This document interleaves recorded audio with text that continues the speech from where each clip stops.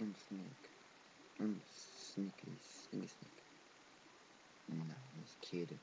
I'm your daddy. No, I'm his kid. Your grandpa. Okay, about I'm your grandpa.